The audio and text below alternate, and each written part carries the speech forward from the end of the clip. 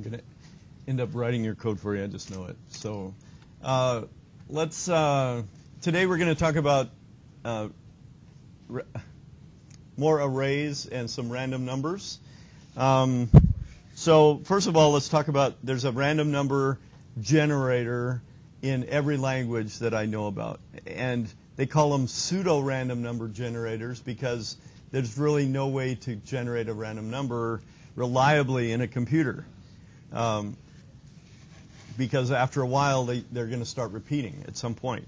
So uh, there is a random number, and let's do it in IRB. So let's run the IRB console because it's faster. So the number is called, I mean, the function method is called rand. And if I hit rand, it gives me a, what type of data is this?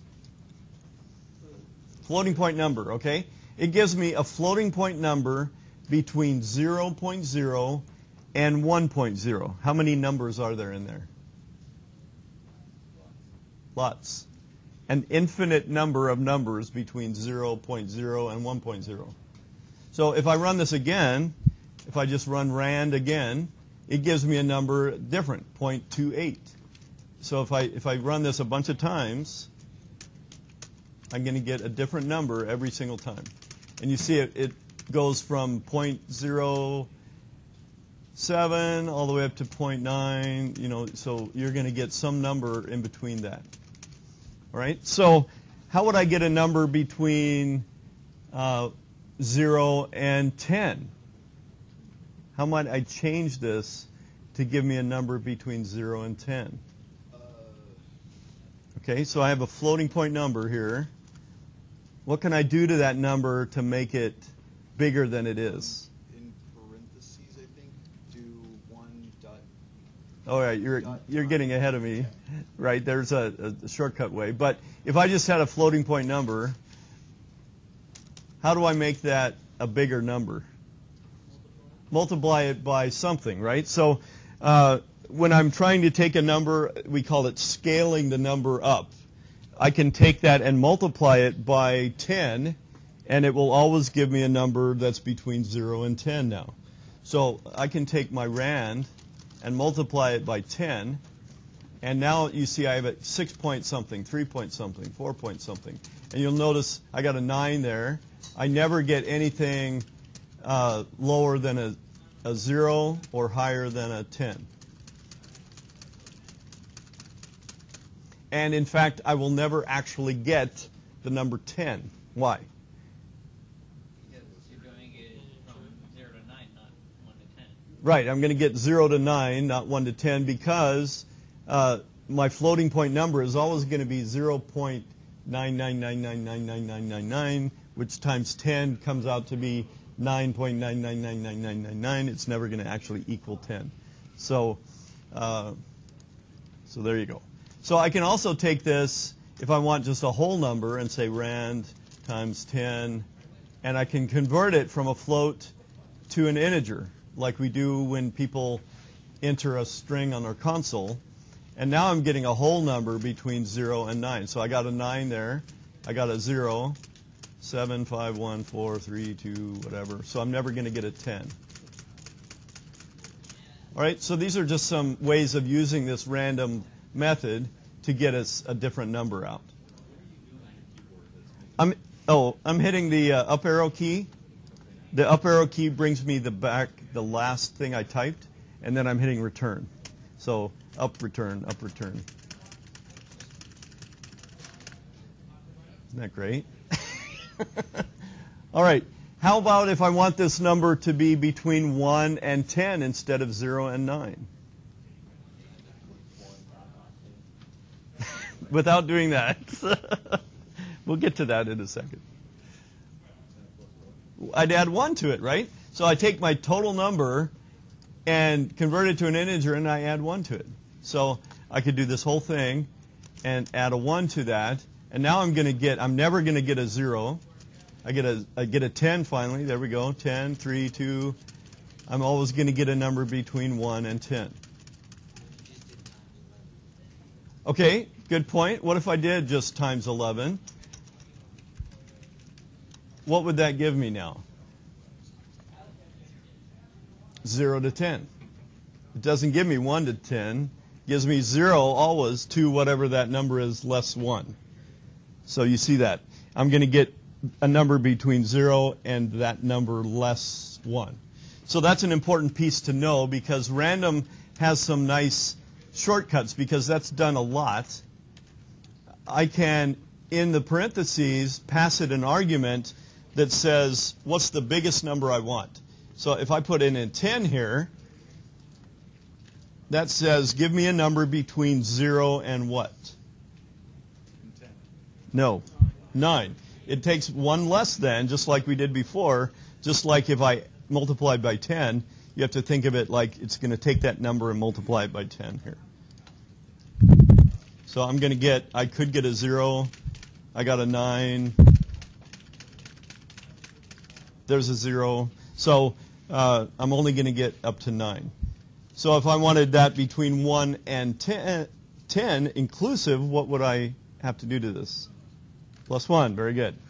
So that would give me 1 to 10. All right?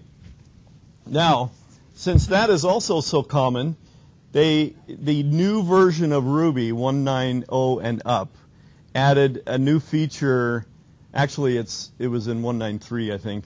They added a new feature that lets you put a range of numbers inside of this random function. Uh, this will not work on Ruby 187 though and below.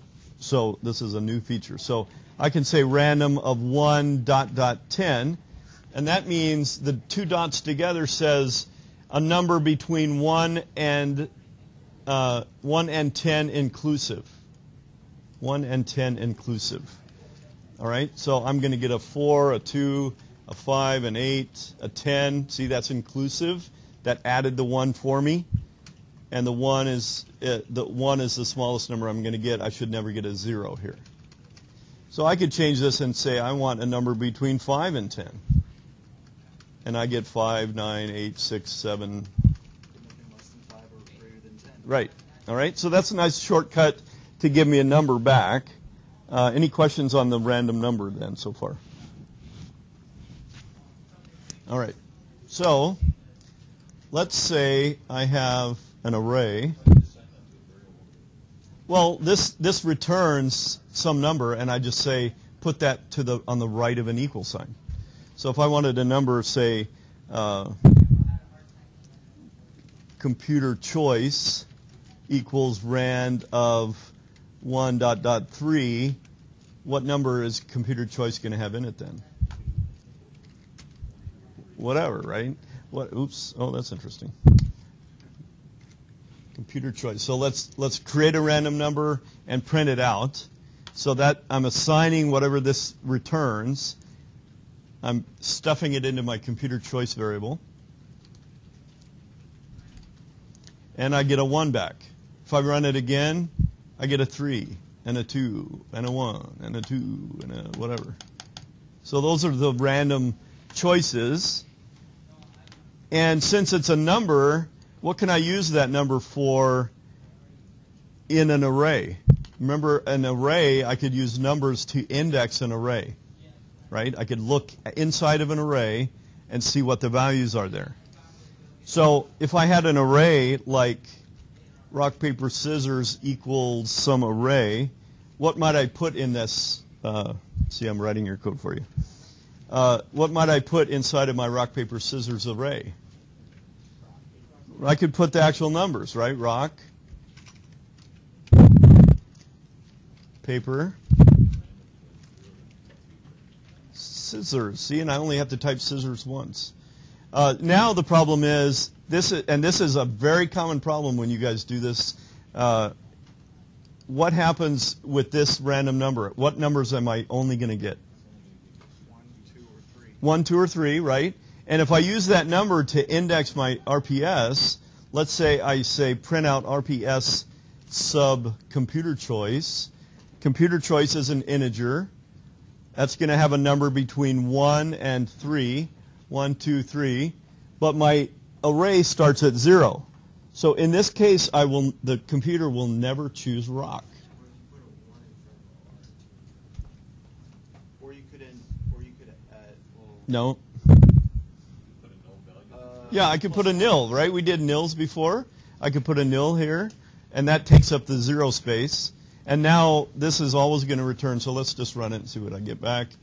I actually am going to print out the value of what is stored in my rock, paper, scissors array based on a random computer choice. Can't you also put it in computer choice plus one? Sure. Do it zero dot dot. Yes, I could. Lots of ways, hundreds of ways to do that. I could do zero dot dot two. That's going to give me a number between zero, which is this one, one, which is this one, and two, which is this one. So that's exactly the same way. Scissors, paper, rock. So you can see that I now have the computer choosing a random number that is then translated into a, a word for me by using this array system. Isn't that sweet? That's some cool stuff right there, man. So that's that's the heartbeat of your program that I just wrote for you there. That's the heartbeat. The rest is comparing that choice with what the user chooses. Okay? Any questions on any of that? We'll do more arrays on Monday until you're sick of arrays. And then we'll move on to hashes until you're sick of hashes. And so, you know, one thing at a time. All right.